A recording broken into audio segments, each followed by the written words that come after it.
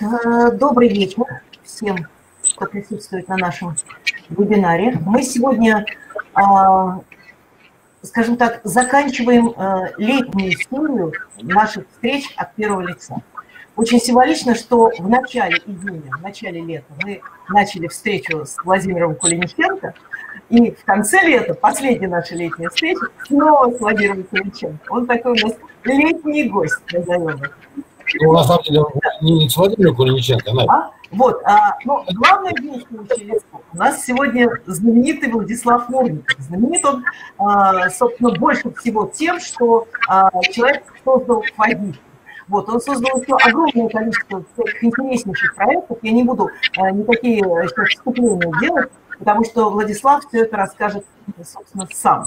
Сегодняшняя встреча у нас в виде, в общем, диалога. Постараюсь минимально вмешиваться в эту встречу. Вот. Значит, всех участников прошу задавать вопросы в нашем чате. Вот. Если в конце появится желание выйти в прямой эфир, то просто подайте заявку, я захочу вам, значит, предложу вам выйти в конце.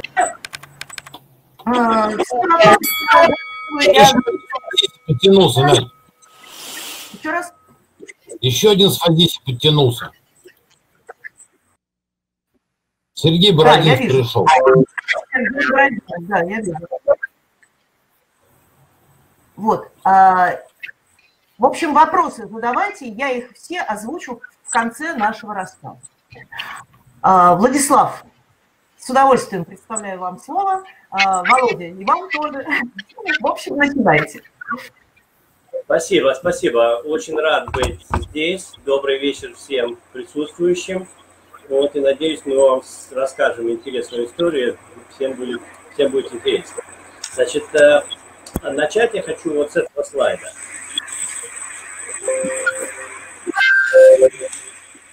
Такой вот шум идет ужасный совершенно. Что такое? Это вентилятор дует, да? Да, вентилятор. Выключить? Да, потому что прям вообще прямо шум, шум, шум идет. А, ну ладно. Без него будет очень жарко. Ну ладно, я выключу, посмотрим, как получится.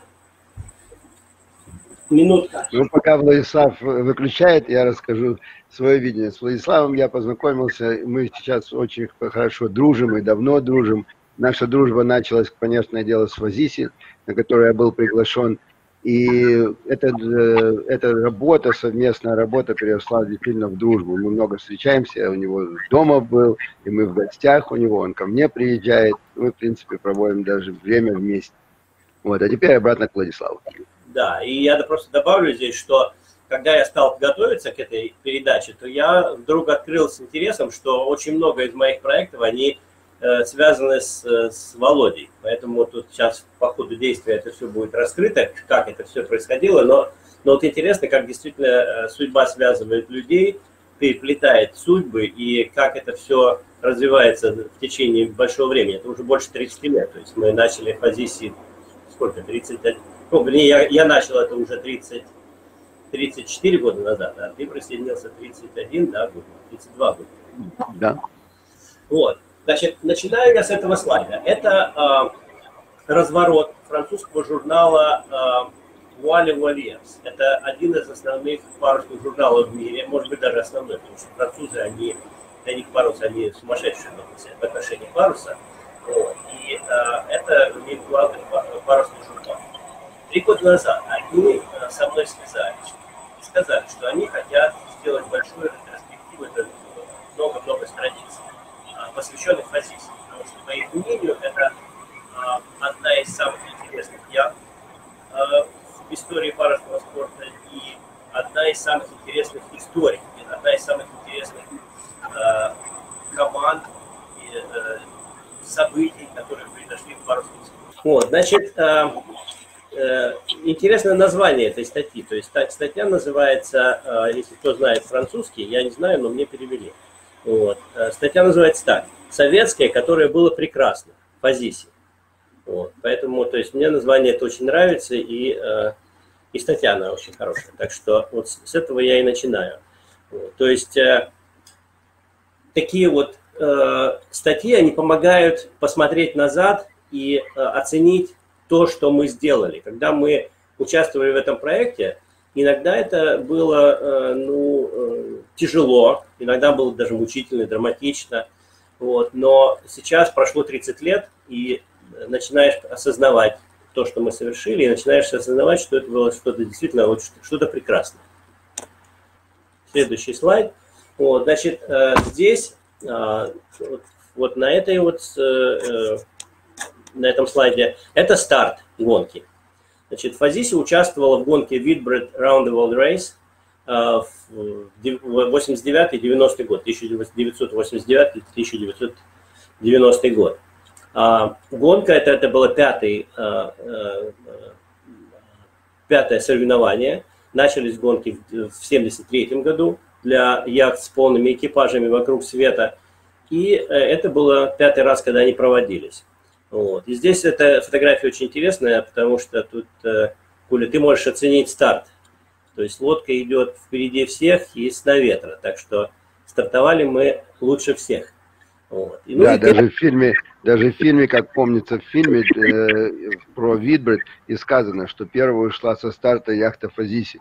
Это да. было, даже вот я недавно Мейден посмотрел фильм новый, и в нем было указано, что первый старт, когда Мейден брал, Фазиси там было э, прямо сказано четко, Фазиси ушла первая на старте.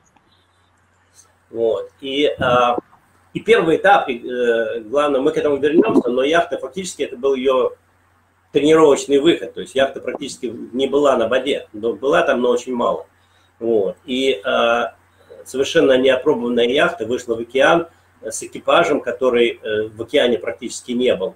Вот. И э, первый этап яхта пришла шестой из 23 яхт. То есть это был огромный шок.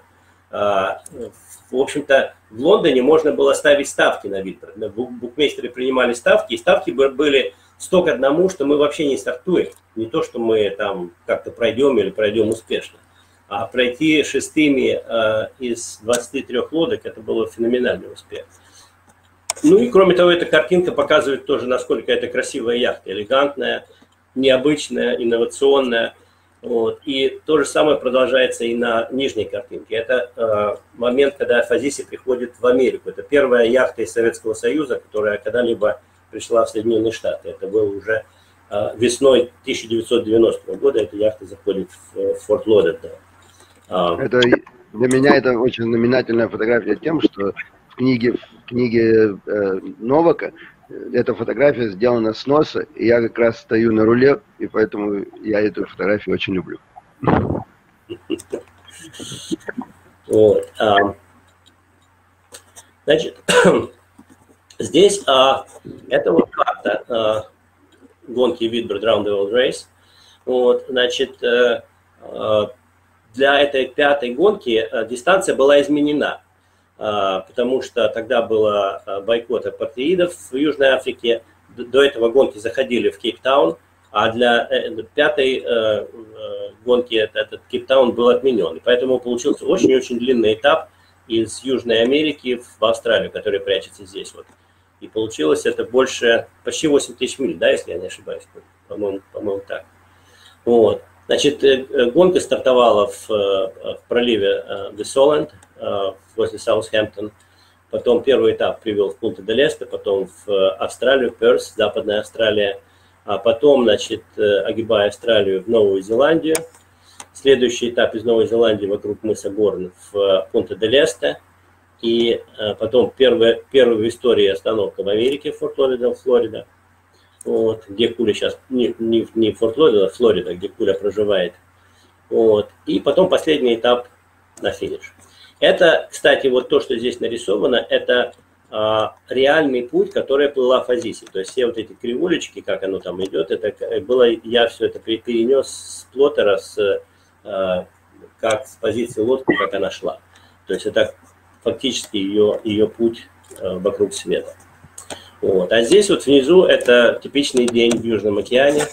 Вот, то есть э, видно, какие условия, видно волны, видно, как лодка идет вот, с какой скоростью, как она глиссирует, вот, и как в этих условиях нужно было а, не просто выживать, а, а выжимать все, что можно было из, из яхты и из себя тоже.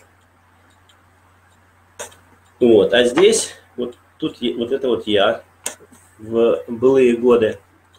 вот, в очень замечательной компании. То есть я начал этот проект, это Фазиси, это мой, полностью мой проект. Изначально я, я его придумал и всех пригласил его. Вот. И э, когда я начинал, то есть у меня даже в самых сумасшедших мечтах не было того, что это когда-то сможет осуществиться. То есть я просто мечтал, я читал, гонка про Витброд в России, в Советском Союзе было очень много известно, почему-то катера и яхты очень много печатали об этом, хотя Советский Союз никогда до этого не участвовал. И я, как бы, для меня это была самая большая мечта жизни, это э, участвовать в Видбре. Вот. Но, э, естественно, что Советский Союз тогда был закрыт, э, железный занавес, страна на замке, вот, и яхт таких у нас не было, то есть это была просто безумная мечта. И, кстати, я назвал, я потом написал книгу, которая под заголовок в ней это «История невозможного приключения».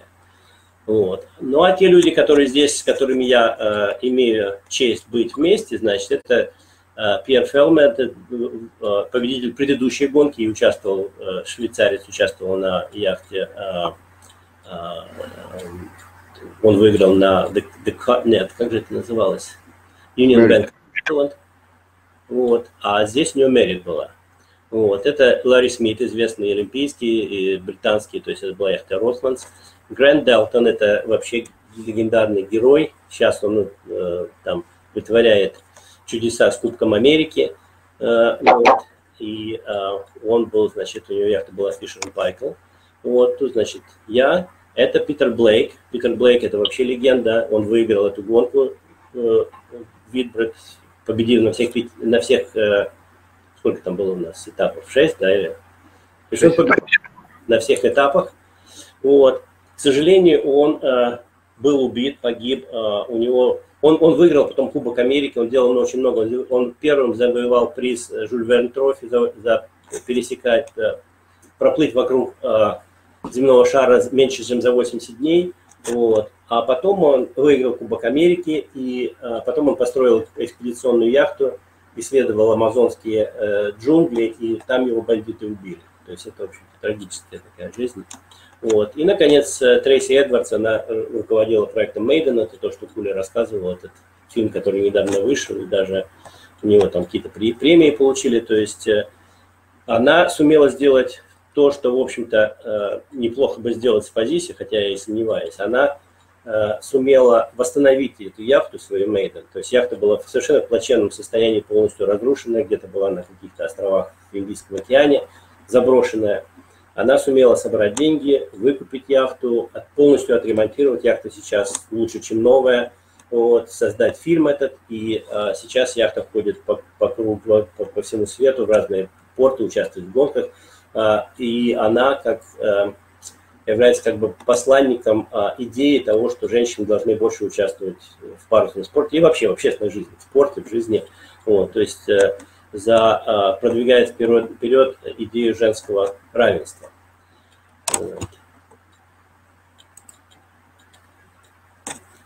Ну, теперь перейдем а, к проекту яхты. Вот, то есть, э, ну, прежде чем я начну говорить в деталях, я просто хотел, Коля, твое мнение в общем, как ты думаешь, яхта задалась? Ну, я думаю, что очень задалась, она до сих пор еще жива. Э, и, конечно, было очень интересно. Ну, очень много было сомнений с самого начала, но в конце концов это все случилось, и случилось великолепно. И, конечно, вот сейчас будет интересно, как, как ты расскажешь, как это все начиналось, тот, тот момент, который я пропустил, потому что я пришел туда уже, когда лодка на стапелях была, еще не перевернута, еще только-только ставили шпангоуты, и мы молковали это все и делали дальше. А вот теперь ты расскажи. Ну вот, значит, э, э, я начну с проекта. То есть я потом немножко еще вернусь э, опять, как все это было организовывалось, финансирование и все такое. Но сейчас я просто больше посвящу, для начала я посвящу такую небольшую главку о самой яхте.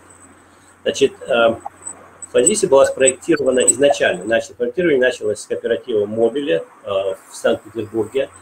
Вот это кооператив, который создали втроем. Это был э, Олег Ларионов, это был Александр Стружилин и я.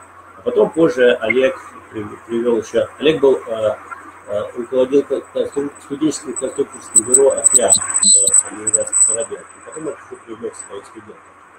Вот, то есть проект начался э, в 86 году э, и развивался с этого времени. И почему я, собственно, решил это начать? То есть я, меня, что меня воодушевило, это те перемены, которые стали происходить в России, когда Горбачев пришел к власти.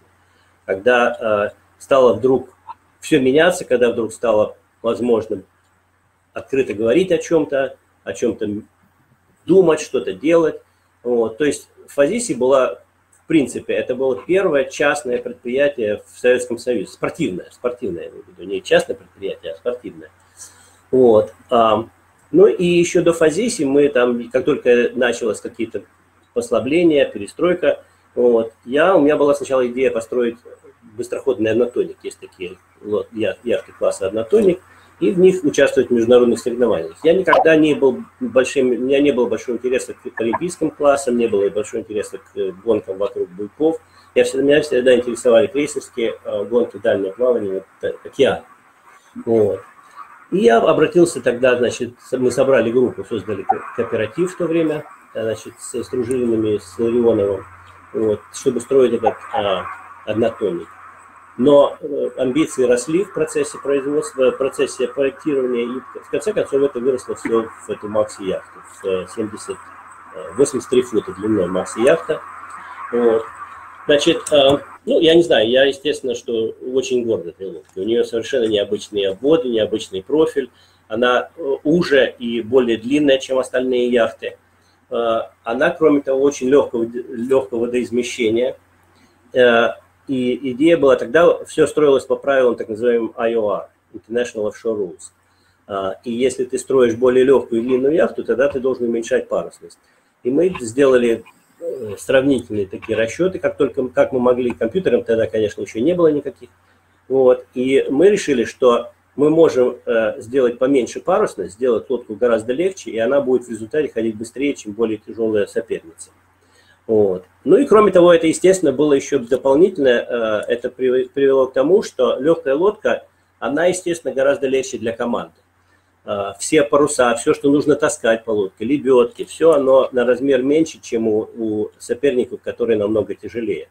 Вот. И мы понимали, что поскольку ни у кого у нас в Советском Союзе не было никакого опыта гоняться на такого размера лодки, до этого самая большая была, наверное, 50 футов.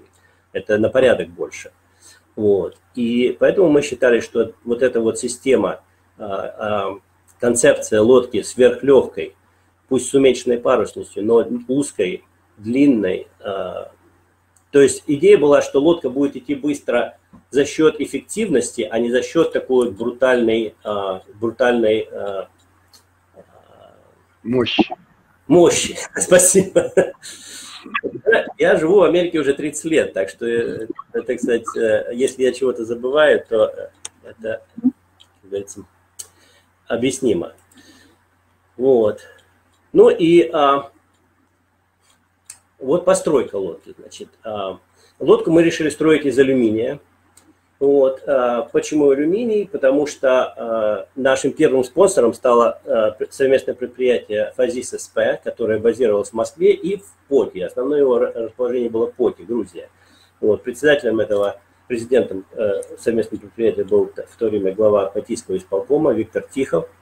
А Поти был, было место, где располагался завод по постройке судовно-подводных крыльях Колхида. И вот здесь вот эта вот Колхида как раз и видна в постройке. Вот. И у них было достаточно, то есть по тем меркам, по меркам кораблестроения, это был хай-тек. То есть они делали достаточно хорошие вещи. Но с точки зрения яхтостроения, конечно, это было никуда не годилось, потому что когда строишь даже и э, судно на подводных крыльях Колхида, то то на туда, то на сюда, оно никакой роли не играет. А в яхте каждый килограмм, в общем-то, важен. Вот. Значит, э, Э, конструкция лодки была очень э, тщательно проработана, чтобы лодка была максимально легкой. То есть видно, что здесь много элементов набора. Обшивка была очень тонкая, что, в общем-то, э, пугало членов команды. И Алексей Грищенко, который был главным строителем лодки, вот, говорит, рассказывал мне, что он иногда ловил за руку людей, которые там, где нужно было 4-миллиметровую лист толщиной, они пытались приварить 6-миллиметровый, чтобы э, сделать лодку понадежнее. Вот. И он говорил, он рассказал мне, что несколько раз он так ловил людей на этом. Вот. А может быть, были случаи, когда он их и не поймал. Так что, вот. И, э, ну, на самом деле, обшивка лодки была, э, э, в носу была потолще, потяжелее, в корме вот здесь вот была обшивка всего 3 миллиметра толщиной. Так что это, когда там койка была, когда ты лежишь, то кажется, что вода, она прямо через тебя перетекает. Вот. А, а, ну, идея была такая, что э, все члены команды должны участвовать в постройке лодки, потому что э, было понятно, что завод сам не справится. То есть они были не эксмены, они не знали, как строить лодку, точность, э, все размеры, веса. И у нас была большая группа людей, которые приехали из Киева, во главе с э, Алексеем Грищенко, который потом впоследствии стал капитаном яхты, вот, которые были очень э, опытными судостроителями. Они в своем клубе все лодки строили сами. Вот, и Алексей Грищенко стал... Вот, и э, ребята на, на порядок э, сложнее, чем все, что мы все делали до сих пор. То есть трудность. Ну и кроме того, значит, э, Э, идея была такая, что э, сама постройка яхт будет таким временем, когда единой командой и станет коллективом.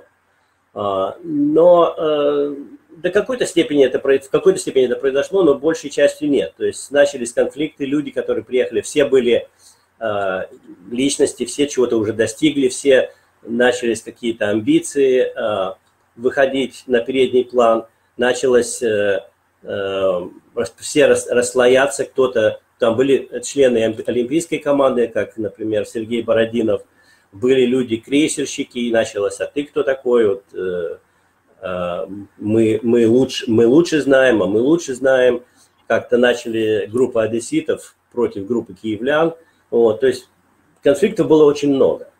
Вот. Ну и кроме того, в самой постройке, во-первых, это была огромная работа, и чем больше мы двигались вперед, тем больше стало, становилось понятно, что мы начинаем опаздывать от графика. Вот, и а, это добавляло допол дополнительный стресс. Вот.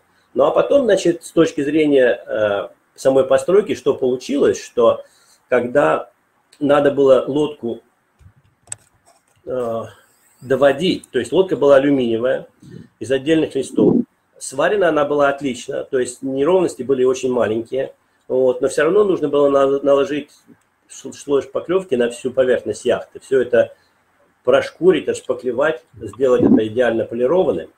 Вот. Ну и здесь что, и эта работа очень тяжелая, и работа потом, причем это шпаклевка, это эпоксидка, это все э, яд, в общем, токсичность, когда шкуришь, это пыль это летит. Вот. Ну и команда решила, что э, поскольку работа такая тяжелая, то нужно, чтобы все страдали поровну. И вся, вся площадь яхты была разделена на между членами команды по 3 квадратных метра, и каждый делал, так сказать, вышкуривал свой участок. Вот. К сожалению, я в этот момент был в Москве, занимался другими делами, и э, это проскочило мимо меня. И когда я через неделю я прилетел и увидел этот ужас, то это было, конечно, это был кошмар. То есть, э, что получилось, что люди, а, кто-то мог хорошую работу сделать, кто-то нет, кто-то э, свою, свою, свою делянку, скажем так, вышлифовал, другие нет. Но самое главное, что все границы между этими трехметровыми э, участками, никто на них вообще не обращал внимания. То есть лодка получилась э, как бы э, множество таких вот, как мозаика, как из, из кусочков слеплено. Вот. И это, в общем-то, потом вылилось в огромные проблемы для нас, потому что когда мы начали э, счищать эту шпаклевку, пытаться счистить, мы потратили почти неделю просто шкуря, чтобы это все содрать, но мы так и ничего не содрали. Что-то содрали, но очень мало. Вот. И получилось, что это одна шпаклевка, потом пришлось перешпаклевывать заново поверху. И это добавило, по крайней мере, тонну лишнего веса к яхте. Лодка, которая должна была быть супер легкой, благодаря вот этой вот шпаклевке было добавлено, по, по крайней мере, тона. И потом это повлекло за собой целую цепную реакцию, к которым я потом дальше обращусь еще. Вот внизу фотография вот это вот, это э, первое появление пепси-колы. То есть э, нашим первым спонсором был, было совместное предприятие Фазис СП, это э, советская э, фирма, вот, но э, они финансировали постройку давали деньги на постройку лодки, но все равно нужно было еще очень много э, денег, особенно это нужно было в валюте, поэтому мы стали искать спонсоров э, на Западе. Вот. Это длилось почти два года. Это была очень сложная, изнурительная работа. Мы, мы встречались со многими людьми. Вот. Самое главное, что никто не верил, что, это, что мы это сделаем, что мы осуществим это, потому что как могут люди без какого-то опыта, без ничего, и вдруг пойти в кругосветную гонку и нормально там выступать. Значит, мы, э, я начал э, этот проект в 76 году, где-то, э, то есть в 86-м. В 87-м мы начали проектирование уже, вот, и где-то постройка сама началась летом 88 -го года, за, за год до гонки. Может, даже не летом, а осенью. Я думаю, что летом. Осень, осенью, 88, э, осенью 88 года.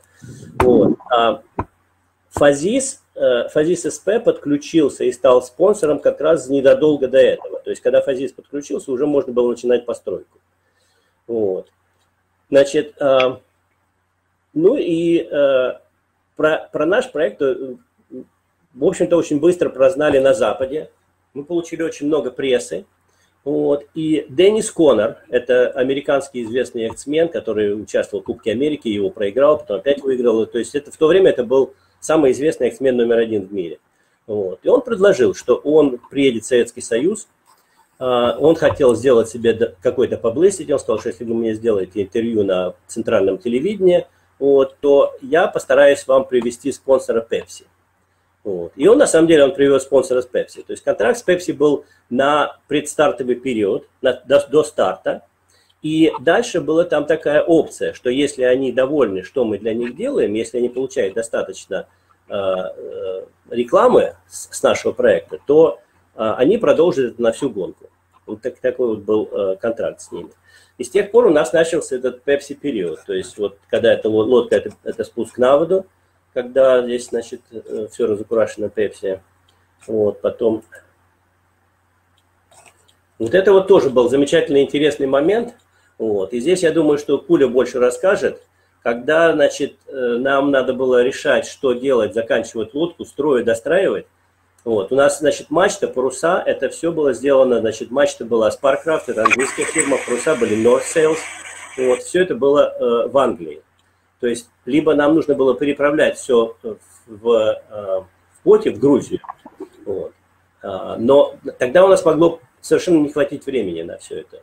Вот. И тут тоже произошел. То есть весь этот проект был, когда ты идешь, вроде все идет, идет, потом натыкаешься на стену. А потом вдруг, а, а, как чудо, происходит что-то такое, и ты начинаешь двигаться дальше.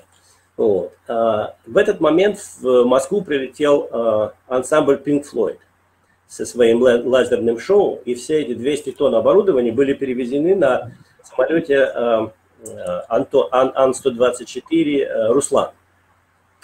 Вот. Ну и тут мне осенило, мне пришла в голову мысль, я попросил, а, а, а Руслан а, э, строился в Киеве на авиационном заводе, вот, и я попросил Алексея съездить в Киев, заодно и повидаться со своей семьей, там немножко отпуск взять, ну и потом заехать на э, завод «Руслан», и договориться, чтобы они э, нам предоставили самолет, чтобы довести, яхту доставить в Англию. Вместо того, чтобы привозить все из Англии, пытаться установить все в поте, на, на что не хватало, явно не было времени.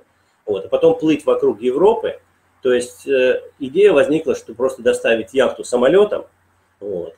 Ну и э, когда мы начали это, это все серьезно обсуждать, Пепси была совершенно в восторге, потому что это вдруг советская яхта летит на самолете в аэропорт Хитроу. То есть это было, конечно, очень такая классная идея.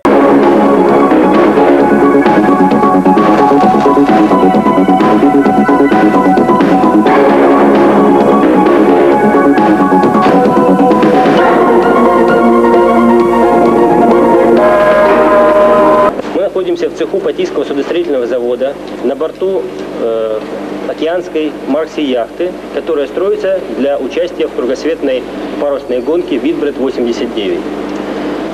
Э, меня зовут Владислав Мурников. Я являюсь руководителем всей программы постройки яхты и подготовки к этой гонке. Алексей Грищенко – капитан этой яхты, который поведет ее в гонку вокруг света. Это первая советская Макси-яхта вообще и первая советская яхта, которая будет участвовать в кругосветной гонке.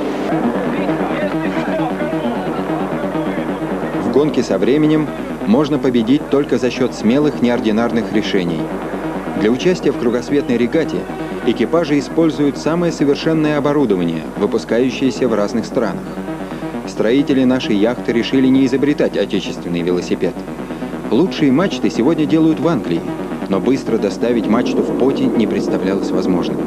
Решили сделать наоборот – отправить яхту к мачте.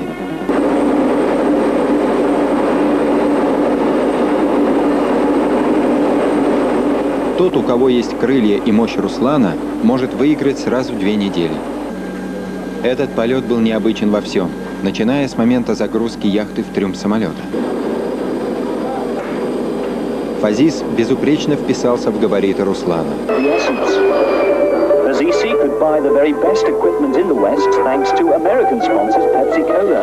В парусном центре Хэмбл, в пригороде Саутгемптона, откуда должна была стартовать кругосветная гонка, Нашу команду ожидала полностью собранная, укомплектованная и оборудованная мачта.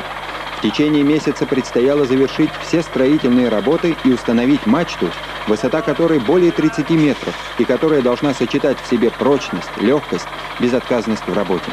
Трудились, как говорится, от зари до зари, чтобы к 17 августа успеть в Лондон. После первого испытания в море стало ясно, что надо срочно заменять киль.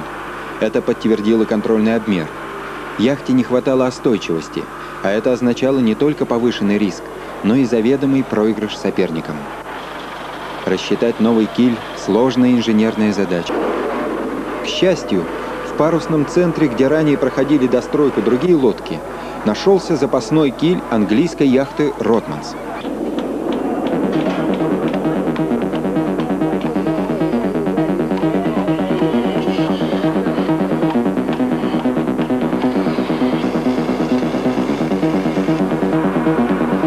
Соперники загружали на борт провиант, проводили последние тренировки, а наш экипаж с помощью местных специалистов работал практически круглосуточно. Наш флаг уже давно развивался на ветру в гавани Саутгемптона, а яхта, наконец, коснулась новым килем воды в заливе парусного центра.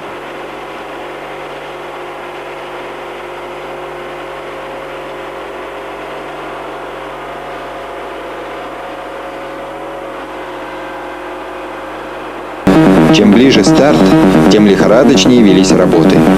Окончательно подгонялись паруса. Снова устанавливалась мачта, отрегулированная в соответствии с новым килем, и под пету ее укладывались монетки на счастье.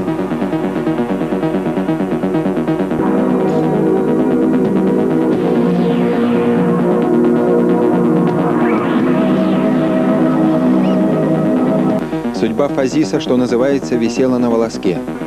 Главный меритель регаты должен был вынести окончательный приговор. Соответствует ли яхта с новым килем классу Макси?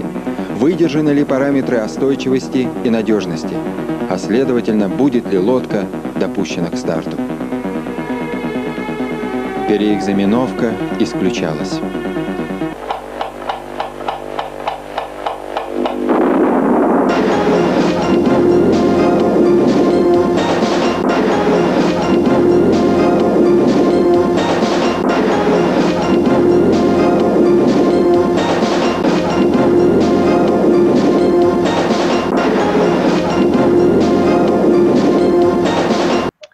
Ну, я хотел сказать, конечно, это все хороший, хороший фильм, все видно, как оно и было. Но на самом, деле, на самом деле надо дать должное всем ребятам, которые присутствовали в этом проекте. Почему? Потому что было до такой степени каждое, каждое звено этого проекта на уровне э, головы проекта и до, до самого последнего рабочего было, если кто-то, кто-то, была какая-то пробоина, одна, этого проекта могло бы не существовать. И это было во всем это было в парусах, которые надо было переделать вовремя, это было в переделке того же киля, даже сама погрузка в самолет была той же чертой, когда все хотели с помпой сфотографировать и сделать из него большое видео, чтобы показать по центральному телевидению э, Грузии, сказали, что должны приехать, а в это время прилетевший самолет, я и Рами, мы остались на, сторожить этот э, яхту, и еще самолета не было. Когда самолет прилетел, ребята с самолета сказали, если вы не будете сейчас грузить яхту, мы просто развернемся и улетим.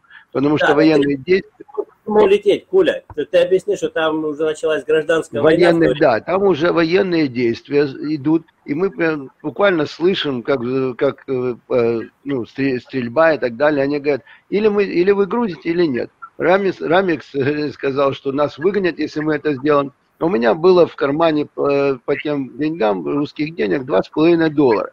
Я вышел, я инженер-механик, я вышел на шоссе, остановил кран, который этот за, за, два, за, за полтора доллара. И за один доллар я его договорился, что он въехал на территорию, на территорию аэропорта. Ну, неслыханная вещь. И в этом мы поставили на тачку, которая специально ввозила лодку в сам самолет. И погрузили. Конечно, конечно, был большой скандал, начался скандал, потому что не, не могли все это заснять хорошо и так далее. Но капитан, капитан этого воздушного лайнера сообщил то, что вы, мы должны сейчас срочно улетать, и что скажите типа спасибо. И мы погрузились и улетели.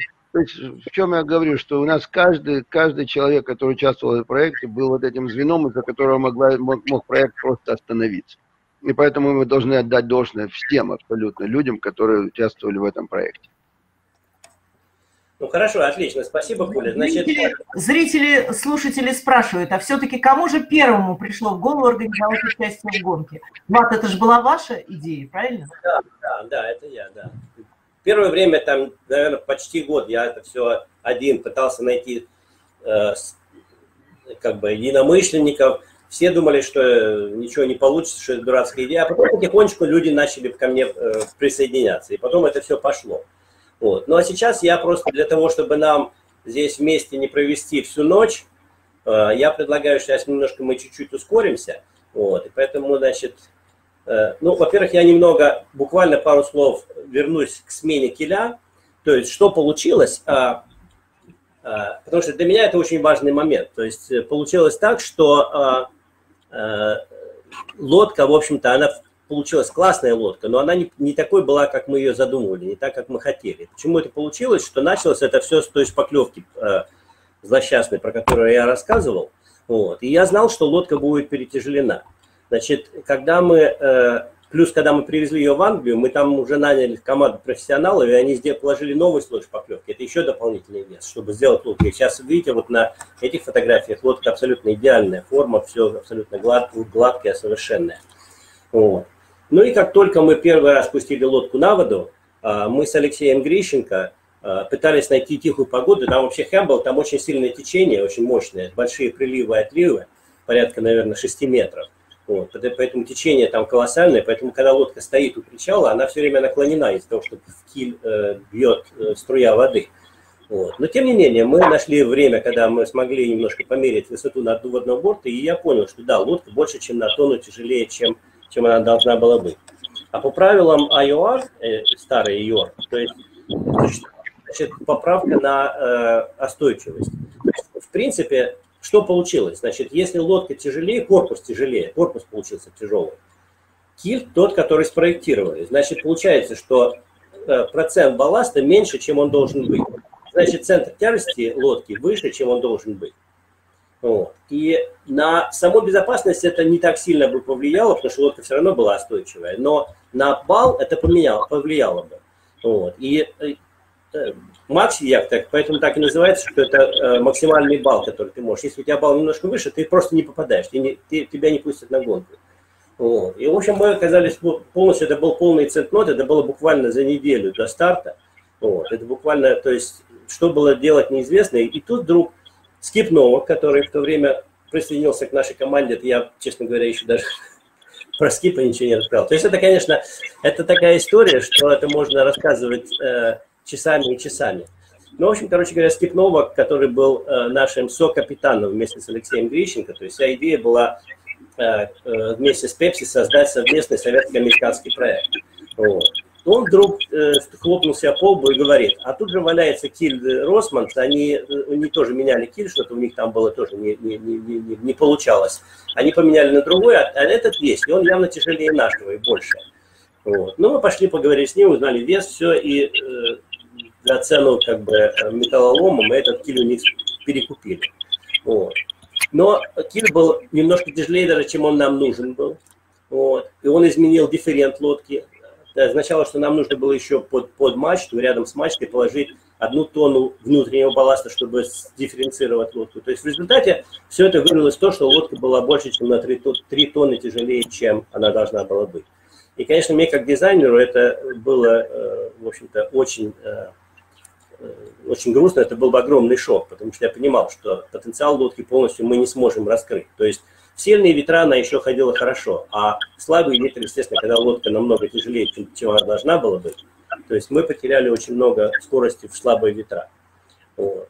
Ну а сейчас это вот уже наша э, еще, то есть лодку поднимали, спускали на воду несколько раз, и вот последняя финальная официальная э, спуск на воду э, Пепси, то есть это было все сдирижировано, то есть были лежали два флага, советский и американский, под ним было большое лого Пепси на корме, вот, потом, значит, Грищенко поднял советский флаг, тип американский, то есть это все было огромная, так сказать, большая-большая э, реклама для Пепси. И мы считали, что поскольку была у них опция, то есть они были нашими спонсорами на первый этап, мы считали, что э, мы сделали для них классную работу, что они продолжат наш контракт. Вот. И вдруг буквально за, за меньше, чем за день, наверное, до, до старта, они говорят, большое спасибо, мы, благодарны вам, но контракт мы продолжать не будем. Вот. И я помню, Скип с ними разговаривал по телефону, мой английский тогда был еще не очень хороший, но я понимал, по крайней мере, половину. Я помню, что он... То есть, как Пепси это объяснила, что в Америке э, эту водку не примут. И Пепси будут иметь проблемы с, э, с маркетингом, поскольку они поддерживают э, советских. Вот. И э, я помню, как Скип кричал в трубку, что если не хотите поддерживать советских, поддержите меня, я же американский. Вот. Но, тем не менее, то есть Пепси не продлила контракт. И что получилось, что когда мы стартовали, и это было как бы триумф, и мы стартовали первыми, и все это было классно, но те, кто наблюдали за гонкой, еще не знали, что а, у, у яхты больше нет денег, у нас не, не было денег ни копейки. То есть мы вышли в океан, но никто не, представлял себе, что мы можем делать, куда мы пойдем и все. Вот это еще, это было э, на обложке какого-то журнала, это была такая картинка, то есть э, в общем-то, Pepsi сделала из этого себя огромную рекламу, но, к сожалению, э, контракт оно не продолжило. Но это, это их дело. Э, то есть контракт у нас был с ними на предстартовый период, дальше была опция. Они решили, что они не будут. Вот. Объяснение было, что они опасаются негативной реакции в Америке. Э, это была большая глупость, потому что когда мы в конце концов приплыли в Форт Лодердилл, там мы были героями, мы, мы были, нас на руках носили, мы были как к нам относились лучше, чем, чем к победителям. Вот. Ну, эта фотография просто я показываю здесь форму Фазиси, здесь хорошо видно э, подводная часть. Очень такая э, острый нос, э, сравнительно узкая лодка для тех, для тех времен и очень такая, на мой взгляд, очень элегантная лодка. Вот. Ну, кроме здесь... того, что она кроме того, что она была очень элегантная и красивая, что все, все говорили, все это видели, она была очень хорошая в управлении. И в, то, в управлении, то есть было намного легче. Я ходил потом и на Максе, и на других больших, те, которые в Витбреде участвовали. И эта лодка рулилась намного лучше, и свободнее, и легче. Да, это из Новых мне говорил. Он до этого у него была лодка Драм э, Рона Холланда. Он говорит, что если чуть начинает задувать ветер, то ну, минимум два человека за штурвал должны управлять, иначе невозможно справиться. А, а фазисе, в принципе, можно было управлять двумя пальцами. Особенно, когда начинала глиссировать, когда начинала ускоряться, дальше это вообще можно было просто руль отпустить, и она будет идти. То есть это было, конечно, обалденное ощущение. Лодка была настолько сбалансирована. Вот. Ну и вот эти два слайда, это очень интересно, потому что э, у нас был достаточно низкий надводный борт. Во-первых, потому что лодка была перетяжелена. А во-вторых, это изначально мы хотели низкий борт, потому что у нас лодка была алюминиевая, большинство соперников, соперников были композитные, алюминий немножко потяжелее. Поэтому мы сделали, сделали лодку пониже. Вот. Ну и нас прозвали Russian Submarine. Но на самом деле, если вот посмотреть, вот эта вот английская лодка Rothmans, а это Фазиси. То есть на Фазисе тоже есть вода, но Росмос, вот, вот где настоящая сабмарин. Вот. Ну и здесь я хочу пару слов сказать про скорость лодки. То есть, да, лодка, конечно, не показала себя, к сожалению, так, так как она могла бы показать. Тем не менее, вот, я, значит, э, я прошел на, на, на лодке только два этапа. Это э, третий и последний. Вот. Значит, э, на последнем этапе у нас максимальная скорость была, по-моему, 29 узлов. Вот. Так, Уля, ты как там, когда вы были в океане, то есть было ли больше? 30 вы достигали? Нет, я помню 29 узлов, это то, что у меня запомнилось максимально. Но самое главное, что эти 29 узлов развивалось э, в тот момент, когда была, лодка была полностью контролируемая, рулилась хорошо. Этот нос, который из-за которого все называли бананы, банана-бот, он действительно как-то выталкивал этот нос выше волны, и, и лодка, хоть она и была с низким ботом, было много воды, но не так много, как ты правильно сказал. Если Ротман зарывался полностью по уши в воду, то вот этот нос приподнимал, и мы выходили из воды довольно быстро. Да, ну и вот эта вот э, нижняя э, картинка очень хорошо показывает тоже, как лодка глиссирует на огромных волнах, но ощущение было полной безопасности и э, полного контроля. Вот, значит, э, ну и вот здесь вот очень интересно. Вот это, кстати, Коля, ты сидишь здесь? Нет, я, наверное, на этой фотографии меня еще нет.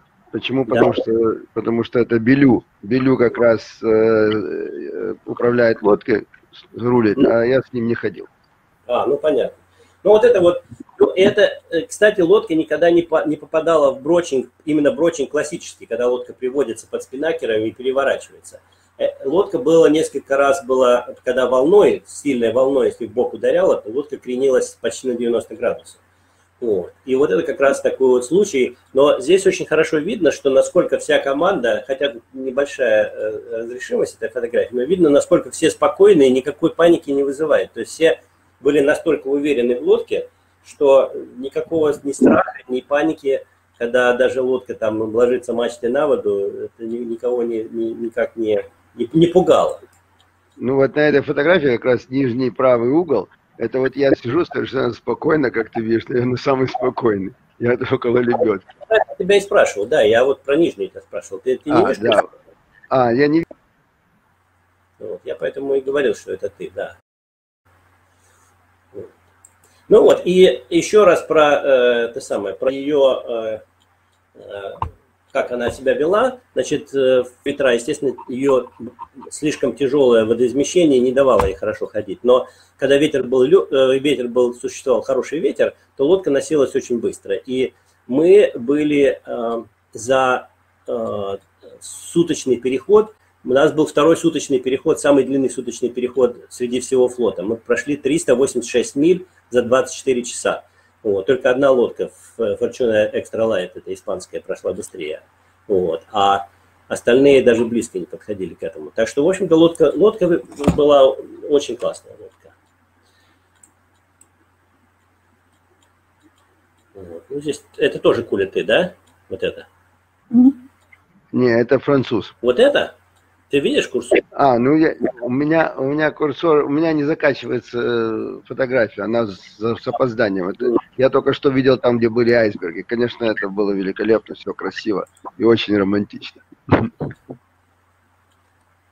Да. Я просто фотография, фотография не закачивается. Ну, понятно, да.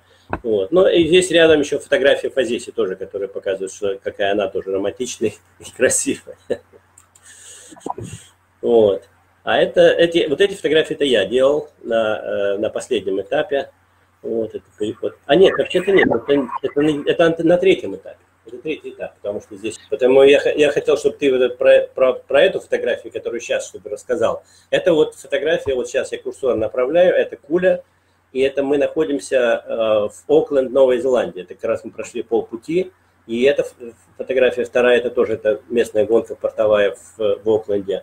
Вот но это показывает как раз интерес парусному спорту в Новой Зеландии. Это, это был не финиш, не старт, это был просто день, когда лодки стояли в порту, и вот там каждый день была вот такая вот толпа, где-то десятки тысяч на, на пирсе, И люди приходили, спрашивали вопросы, задавали, там, там э, покупали там всякие майки, футболки, шапочки, все. То есть интерес Новой Зеландии, то есть это фантастическая страна. Она маленькая, но там, по-моему, такое впечатление, что там все интересуются парусным спортом, все ходят на яхтах, поэтому не случайно, что они выигрывают Кубок Америки.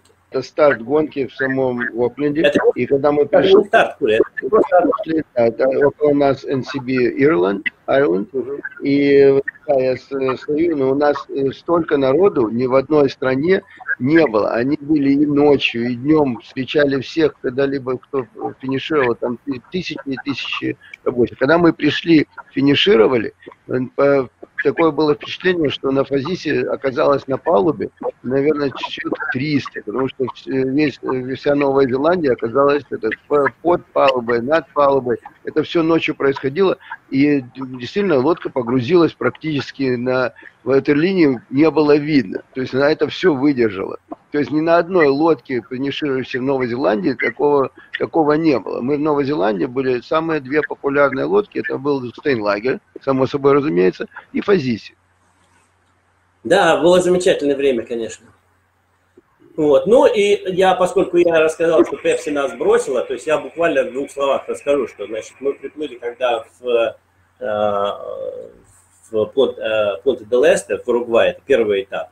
Вот. Мы финишировали шестыми, тогда мы тоже стали, в общем-то, героями. Вот. Ну и это геройство, в общем-то, привело практически к бунту. Команда сказала, о, мы, мы такие крутые, мы тут э, самое главное. Вот. Все стали требовать, чтобы Скипа сняли с лодки, говорят, зачем нам нужен э, американский капитан. Вот. И, э, ну, в общем, был большая, большая, большой конфликт. Вот. И самое, самое э, печальное во всем этом было, что э, команда ставила условия и там как-то бунтовала, но мы не знали вообще, пойдем ли мы дальше, будем ли мы продолжать, потому что у нас больше ни копейки денег не было. Вот. И здесь тоже получился, опять-таки, просто чудо произошло, что я сумел э, найти э, группу компаний в Уругвае, которые занимались там э, кожей, э, мехами, ду- дубленками, э, мясом. То есть это, ну, в Уругвае там больше такие, как бы, э, эти коровьи бизнесы. Вот. И они э, интересовались выйти на российский рынок. И когда мы стали э, спрашивать там через э, посольство и все, на- с кем можно поговорить, и буквально в течение, буквально, может быть, 10 дней мы нашли хорошую сумму денег, спонсорства. Они нам помогли пройти через Уругвай и пройти через э, остановку в Австралии. А потом было Окленд. И Окленд, конечно, когда при таких количествах, когда народ там э, любит парусный спорт, они нас э, приняли как вообще как народная лодка. Они сказали, что ну раз у вас нет спонсора российского, то мы будем вашими спонсорами. Вот. И э, нам помогли э, премьер-министр э, Новой Зеландии разрешил организовать лотерею, э, причем очень за короткое время. Там фирмы нам давали э, э, машина BMW, полет там куда-нибудь там вокруг света или еще что-то. И мы это все раз- ра- ра- разыгрывали в лотерею. Таким образом, мы набрали очень хорошую сумму денег, и нам хватило... э, То есть в Новой Зеландии уже стало понятно, что финансово мы через э, вокруг света пройдем. Может быть, там еще, не дай бог, матча сломается или еще что-то, но финансово мы уже, наши проблемы были разрешены. Поэтому Новой Зеландии мы на- навсегда благодарны. Это еще один кадр, который мне очень нравится, как здесь лодка выглядит, видно, как она идет, какая мощь, и это тоже было сделано в Окленде, Новой, Новой Зеландии. Вот. Ну и вот теперь мы прибываем в Америку. Вот. Это, э, значит, одним из спонсоров нашим был Аэрофлот. Вот. Он, что Аэрофлот делал, э, он нам покупал все билеты на все перелеты, э, бесплатно нам давали. Вот. И только благодаря этому мы смогли потом во второй остановке в Уругвае, в Пунта-де-Лесте, мы сумели привести все семьи всех, всех членов команды. Вот. Ну, это так просто для, э, для смеха фотография. Да, ну здесь, наверное, я хочу включиться, потому что, понятное дело, Америка это Америка. И в то время это было, это шокировало всех, потому что это было так, как обращались и относились к нам американцы, которые растягивали нас на пати каждый день, по две-три пати в разные, разные дома, в разные клубы. Мы приглашены в данный момент, мы являемся просто этими, э, э, ну, судьями э, эти, мисс, мисс какой-то там Флориды или так далее. То есть у нас было очень весело, но работать приходилось очень много тоже. Разрешите показать фрагментик э, финиша. Добро пожаловать к финишу кругосветной гонки Уитбрид.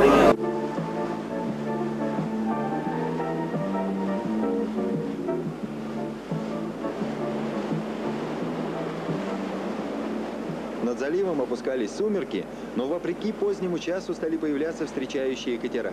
Их пассажирам не терпелось первыми увидеть одну из двух самых популярных яхт этой гонки. Английская British Maiden с первым женским экипажем и наш Фазис были в центре всеобщего внимания. До финиша было рукой подать. Уже виднелись огни контрольных бакенов, и фотожурналисты занимали удобные места, чтобы эффектно снять торжественный и памятный момент. А наша лодка стояла неподвижно. В одно мгновение пропал ветер, и яхта, будто уткнувшись в невидимую стену, застыла на месте. Шедшие вдогонку финны были совсем невдалеке. Но так же внезапно, как и исчез, ветер расправил опавшие паруса, наполнил их, яхта ожила, стронулась с места и с каждой секундой, набирая скорость, устремилась последний свой рывок, венчающий весь кругосветный путь. До финиша осталось два корпуса лодки. Один. Все. Саутгемптон встречал отважных дебютантов. Несмотря на позднее время, уже несколько часов стояли на персе люди.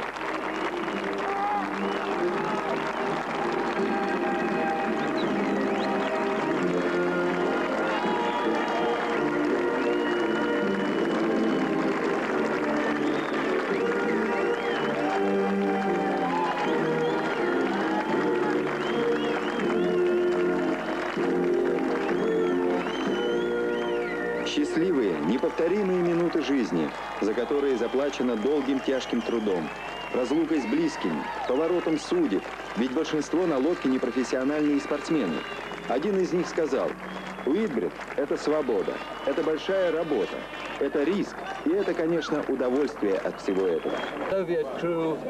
Я помогал советским яхтсменам всем, что было в моих силах, чтобы они успешно смогли обойти вокруг света, и они оправдали все мои ожидания и оказались достойными состязания мирового класса. Я уверен, что сообщения об этом успехе попадут в Советский Союз, и там по достоинству оценят своих соотечественников, которые вынесли все испытания судьбы и так прекрасно представили свою страну и свой народ. Значит, а, если кто-то захочет побольше прочитать про это, я а, давно, еще 20 лет назад, написал эту книгу а, Race to Freedom, вот, издана на английском языке. Я ее почти всю перевел на русский язык, я искал э, русских издателей, пока не нашел. Вот. Так что если кто-то из тех, кто смотрит сейчас нас, имеет какие-то выходы на издательство, я бы с удовольствием бы издал эту книгу и на русском языке. А пока, если кто-то может, она, ее можно купить на Амазоне, если кто может читать по-английски, здесь вся история со всеми подробностями с самого начала и до, до конца. Я рекомендую, я ее прочитал, у меня несколько экземпляров э, с подписью автора. Вот. Недавно совершенно диким образом забрать удалось один из экземпляров, который э, держали у меня и не отдавали, потому что было так интересно, что не хотели отдавать обратно.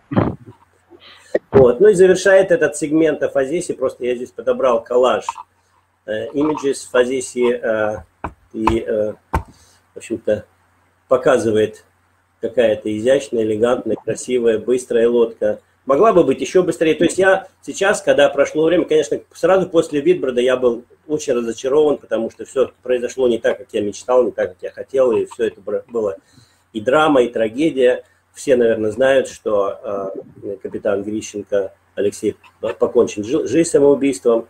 Вот. Э, я просто не хочу на этом сейчас никак концентрироваться. Вот. Это было его решение, он э, не, не хочу влезать в его голову и думать, почему, что, чего. Вот. Потом лодка была перетяжелена, лодка не показалась весь полный потенциал. Вот. А, но в целом, если так подумать, вот, Куля, я думаю, ты со мной согласишься, что это на самом деле было что-то невозможное. То, что мы совершили, и то, что получилось, это оно не могло получиться. То есть это получилось, э, это было чудо просто. То есть... Э, ну, я бы сказал, это который Феникс, который воспрял из пепла. Потому что действительно было, ну, никто, никто не мог, если сейчас мы живем так, как вот, в принципе, должно было быть, смотрим, как строятся лодки, присутствуем на парусных мастерских, в, в верфях, которые строят лодки, мы видим, как на самом деле это могло быть, и при, совершенно непонятно, как в тех условиях мы смогли создать вот эту вот твою, твою лодку. Потому что если кто-нибудь из этих э, профессионалов посмотрел, как она строилась, они бы сказали, это невозможно, и они бы за это не взяли. Да, да. Вот. Ну, и, а, переходим а, а, дальше, идем, значит, то есть вот а, это как, ну, это два года назад. Фазиси, значит, Фазиси была, э, владельцы ее Фазиси СП через два года продали, вот, э, она была в Америке в то время, продали, я уже даже не помню кому. Она несколько раз, как обычно яхты делают, несколько раз меняла руки, пока она не стала э, принадлежать э, Польской ассоциации яхт-клуба в Америке. Вот. Ну и э, они много на ней гонялись, много ходили, Атлантику переходили, по-моему, несколько раз. Но в целом я скажу, что есть, э, они, это группа людей с хорошими деньгами, но я бы не сказал, что они очень хорошо заботились о лодке. Вот. И в 2017 э, году они оставили ее на якоре возле острова Ки-Вест, когда приближался ураган. Вот. То есть они ничего не сделали, что не попытались ее никак не увезти куда-то, ничего. Вот. И лодку, э, ураган был очень сильный, лодку выбросило на берег, то есть ее проволочило э, с якорем, выбросило прямо на самый остров. Вот. А, а, но самое интересное, что при этом ни руль, ни киль, ни мачта даже не сломались. Здесь мачта, мачты нет, но ее спилили потом. Вот, то есть лодка осталась цела. Вот. И э, э, через какое-то время, через, по-моему, 6 месяцев, э, правительство Флориды э, выделило деньги. То есть было выброшено, по-моему, 5 тысяч лодок разных, яхт, моторных, на, на, туда, на острова, на, на, э, на Кис, Флорида Кис. И правительство выделило деньги, чтобы это все очистить. Пляжи, потому что это, естественно, не привлекает туристов, когда там э, кладбище яхт на, на пляжах. Вот. И вот они взяли несколько барж, и они все стали сволакивать на свалку. Вот. Ну и владельцам польскому яхт-клубу, значит, польским яхт-клубам пришло извещение, что яхта будет э, сброшена на свалку. Вот. Ну и вот один из членов команды, не, даже не владелец, один из членов команды, Юрий Раул, вот. Он решил просто полететь туда, он жил в Чикаго, живет в Чикаго. Он решил полететь и попрощаться с яхтой. Вот. Ну и когда он это все увидел, он сказал, что я просто не мог допустить, чтобы она... Э, и он э, э, за символическую сумму заплатил владельцам, выкупил у них, потом договорился с этими, с Coast Guard, как это называется, Guard, как будет, пограничники, да? Вот. Ну, ему разрешили... Береговая охрана. Береговая охрана, да. Ему, ему разрешили лодку забрать, спустили на воду. Он уже э, много чего восстановил, поставил мачту обратно, э, завел там эти, такелаж. Двигатель, двигатель, кстати, пока она лежала на берегу, там э, э, бомжи с, украли его и хотели продать, но он у них выкупил обратно. То есть он сделал колоссальную работу, чтобы спасти лодку. Но Юрий не... Э, не какой-то там богатый человек, то есть он делает, что он может, но в одиночку он этого не может сделать. То есть кое-кто ему помогает из, из бывших членов команды, но, но большинство нет. То есть э, тут э, вместо помощи началась а, а, кампания о том, что люди стали говорить, э, отдайте яхту Украине, почему вы называете ее российской. Она не российская, не украинская, никакая. Это была советская лодка. Вот. Был Советский Союз, страна распалась, и, к сожалению, лодка в плачевном состоянии. Той страны, которой она принадлежала, уже нет, и поэтому некому особенно о ней побеспокоиться.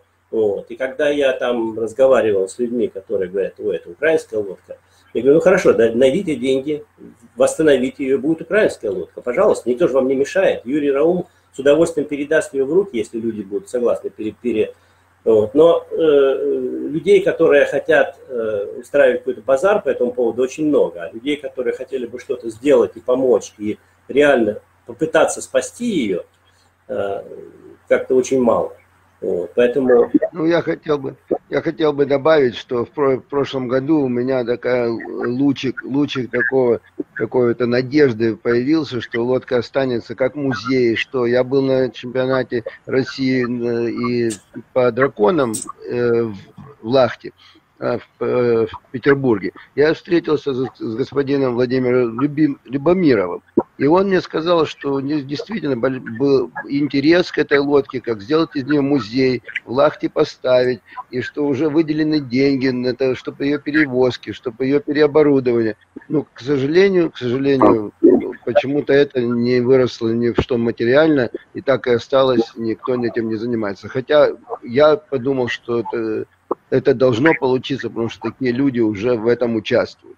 И надеюсь, что если кто-то слышит, и может быть действительно там какая-то накладка произошла, и кто-то поможет вернуться к тому, к тому положению, лодка действительно сохранится и будет музеем. Что она действительно, она заслужила этого. Она действительно этого заслужила. Ну, будем надеяться. Действительно, в позиции выживала, ты, как правильно сказал, как птица Феникс много-много раз – может быть, она еще сможет и еще выжить. Но ну, будем надеяться, хотя, честно говоря, у меня э, не так много надежд на все это. Вот. Ну, идем дальше от грустного. Вот, значит, что получилось? Когда мы с Фазисией приплыли в 2000, то есть в 1990 году мы приплыли в Америку, в Форт Лоридел, вот, э, у нас там наша фирма, которая нами занималась, как бы помогла нам менеджить, там, находить спонсоров, и все это было Sport Marketing Company, когда они увидели тот интерес э, к советской яхте, вот, они быстренько решили, они говорят, давайте сделаем следующую гонку, мы сделаем совместный проект, совместно американский уже 100%, то есть это будет изначально советско-американский. Вот, когда вы финишируете в Англии, сразу поворачиваете, плывите обратно, и мы начнем сразу же компанию. Вот. Ну и так, мы так и сделали. Вот. Мы э, участвовали во множестве регат здесь. Мы провели целый год на яхте, ходили э, по всем портам. Э, Фазис был только рад. Фазис, в принципе, они нам э, подписали лиз на эту яхту за 1 доллар на, на год. Потому что Фазис СП не хотел, чтобы лодка в этот момент возвращалась в Советский Союз, потому что вы помните, что такое было начало 90-х годов. Они боялись, что там лодку разнесут на куски и, и это самое, сдадут на металлолом или не знаю, что там сделают. Короче говоря, они были просто э, рады, что, возможно, будет какое-то продолжение. Вот. Это вот с этой стороны, вот это плакат. Значит, это известный итальянский э, артист Франко Коста. Он сделал такой плакат. Э, здесь вы видите, это храм Василия Блаженного, а это американский Капитолий. Это как бы Фазиси связывает. То есть тогда то, то было время, когда были какие-то надежды, были какие-то э, мысли, что а что если как-то Советский Союз, Россия наладит отношения с Америкой. Но, к сожалению, мы видим, что ничего из этого не, не, не оправдалось. Вот. Ну, а кроме того, что мы, значит, э, там э, пытались найти спонсоров и сделать новую программу, мы имели еще, то есть мы открывали Америку для себя. Это было замечательное время. Вот, вот здесь вот это Фазиси со всей э, трупой, все, наверное, знают такую мюзикл Phantom of the Opera. И вот это вот Phantom of the Opera, это все люди, они как раз приехали на гастроли в Форт Лоридел, нас с ними свели, они нас пригласили себе, привели нас э, э, за сцену, показали, как это все делается, как там все это двигается, как меняются декорации. Не знаю, если кто-то смотрел, это замечательный мюзикл, вот, э, совершенно впечатляющий. Вот, мы с ними несколько раз выходили на воду, вот, там патис были, то есть было, было много хороших воспоминаний. Вот. Это вот мы вместе с трупой большого балета, вот они выступают, потом мы их приглашали на яхту, они были на гастролях э, в Америке, и мы с ними вместе э, проводили время хорошо. Вот. Дональд Трамп приглашал нас, мы жили у него в Марине, наверное, пару недель, он был на лодке тоже. Э, сенатор Эдвард Кеннеди. Вот. А потом был, нас познакомили с Роджер Главер из группы Deep Purple. Они тогда записывали свой альбом которая называется, сейчас я у меня записал, я называется The Battle Rages On, битва продолжается. Вот. Он, был, э, он оказался большой любитель русской водки, он бывал у нас на Фазисе, он нам привез, принес запись а, этого альбома, который еще не вышел. За 6 месяцев до того, как он вышел, у нас уже было, мы его слушали, он правда сказал, что, ребята, пожалуйста, не делайте никаких копий, никому не отдавайте, но сами, пожалуйста, слушайте и наслаждайтесь. Так что, в общем-то, мы имели очень много интересного, интересных встреч, не просто на а, а, парусе, но и, так сказать, в такой жизни. Вот. А вот эта вот фотография возвращает нас обратно а, в Москву. Это как раз вот, вот здесь Деннис Коннор. Это из, а, а, было опубликовано, по-моему, в «Катера и яхты». Здесь вот надпись, это где Деннис Коннор желает успеха Азисе. Это когда он привез нам начальное спонсорство Пепси-Колы. Вот. Ну и потом мы ему, в общем-то, в какой-то степени отплатили. Мы э, почти нашли спонсорство на свой проект э, второй, второго участия в Витброде, совместной советско-американской э, программы. Вот. И фирма Winston заинтересовалась и хотела нам стать нашим спонсором. Мы провели несколько встреч, предоставили им программу, бюджет, все, все, все. Вот. А потом на одном из митингов они говорят, вы знаете, что э, Деннис Коннор нам тоже э, пришел, когда мы начали с ними разговаривать, они вообще не знали, что такое Витберг. Мы их, так сказать, полностью их образовали, там показали им, доказали, сказали, какой, какой интерес может быть, что они с этого получат. И потом на все готовенькое пришел Деннис Коннор, и естественно, что для них э, Деннис Коннор в то время был как бы топ, яхтсмен номер один в мире, они отдали спонсорство ему, а не нам. Так что мы он нам принес Пепси частично, хотя из этого ничего особенно не получилось, но мы ему зато отдали обратно Винстон. Так что он участвовал потом в следующем видео на, на яхте Винстон, которую в какой-то степени спонсорство ему мы, мы помогли приготовить. Вот. Значит, ну, на этом я, так сказать, буду заканчивать часть позиции и просто немножко быстро, сейчас уже я постараюсь как можно нас Фазис заняла достаточно много времени, поэтому ну, и она того заслуживает. И сейчас я расскажу о других проектах, которые не менее интересны, а может быть даже более интересны, чем Фазиси. И интересно, что часть из этих проектов, даже может быть большинство, они связаны с Кулей. Так что это как бы мы продолжаем наше совместное представление.